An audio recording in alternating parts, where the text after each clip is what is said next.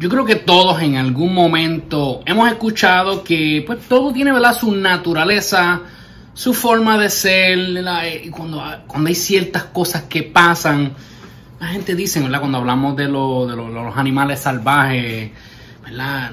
No, sé cómo ponerlo, ¿verdad? Usualmente dicen, oh, es que está en su naturaleza.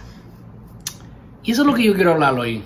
Sobre la naturaleza que algunos tienen y algunos no tienen. Yo soy Díaz y este es el desaprendizaje.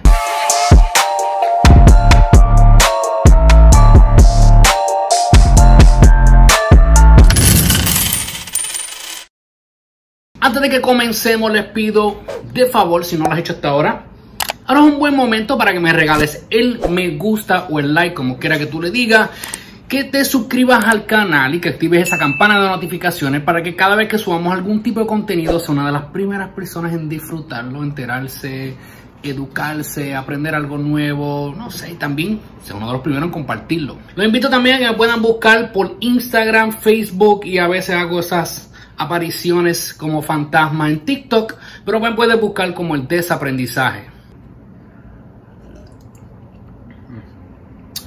Así que ahora sí, vamos a darle. Recientemente yo me encontraba buscando en el internet, me gusta leer, etcétera, y me encuentro con un cuento sobre el alacrán y la tortuga. Y según va el cuento, ¿verdad? Para hacerlo cortito, el alacrán le dice a la tortuga si le puede dar pon, ¿verdad? Si le puede dar, lo puede llevar de un lado a otro porque tiene que cruzar por, por el agua. Por lo cual la tortuga le dice, mira, este, no, no te puedo dejar montarte en mi espalda porque me vas a picar y me vas a matar. Y viene el alacrán y le dice, no, no te preocupes, chico, yo no te voy a hacer eso. Eh, dame pon, llévame hasta allí, mira, brega conmigo.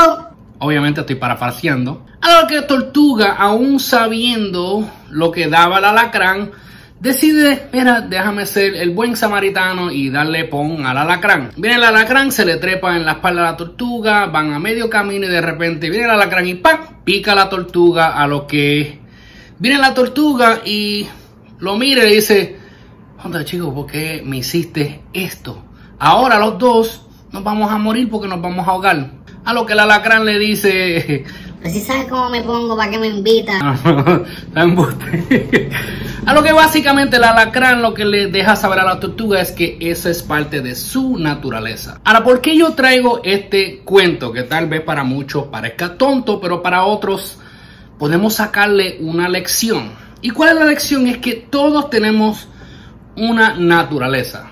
De que podemos cambiar, obviamente sí, porque a veces tenemos una naturaleza, ¿verdad? Que es en la forma que nos crían, en lo que aprendemos y es en la forma que llevamos nuestra vida. Y tal vez algunos llegamos a un momento donde decidimos desaprender, ¿verdad? Nos volvemos conscientes a nosotros mismos y decidimos desaprender todo lo que no nos beneficia en la vida. Y por lo tanto, eh, según desarrollamos buenos hábitos, hábitos diferentes, vemos que nuestra vida cambia, pues Básicamente eso se convierte en nuestra naturaleza. Y durante ese camino de nosotros ir transformando nuestra naturaleza, vemos como hay personas que tal vez o nos siguen y también se desarrollan ellos mismos en la vida y emprenden y echan para adelante como también hay personas que deciden no hacer nada. Y en ese transcurso nosotros, como parte de nuestro desaprendizaje y aprendizaje, tenemos que aprender también a entender cuál es la naturaleza de todos aquellos que nos rodean.